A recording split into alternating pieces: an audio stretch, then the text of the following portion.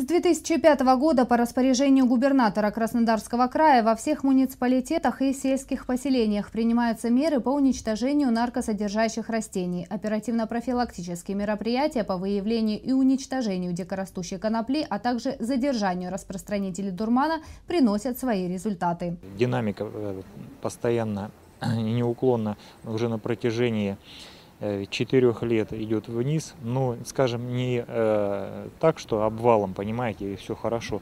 Ну, в, в среднем где-то э, на учетах э, от 20 до 50 человек в год э, количество снижается, цифровой показатель. Но это, в принципе, это тоже хорошо. Неизменной темой на заседаниях антинаркотической комиссии остается профилактика и пропаганда здорового образа жизни. В Сочи созданы все условия для того, чтобы подростки интересовались не вредными привычками, а полезным досугом.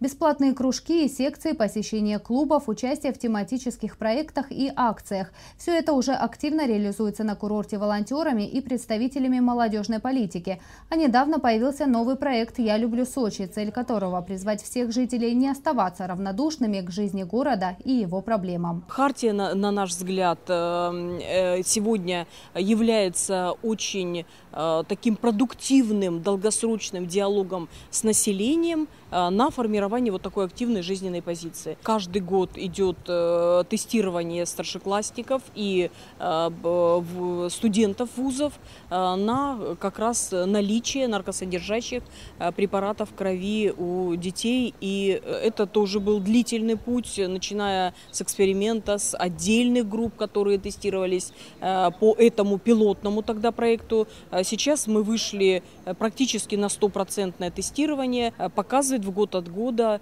хороший динамический рост, хороших показателей. Участники антинаркотической комиссии также обсудили возможность доступного оздоровления наркозависимых и тех, кто решил встать на путь исправления. Национальным антинаркотическим союзом специально для Сочи разработан пилотный проект по предоставлению курса в реабилитационные центры России.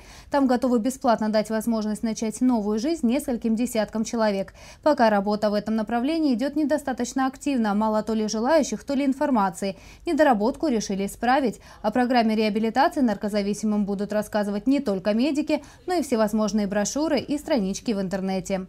Татьяна Нагорская, Борис Осень, телекомпания «ФКТ».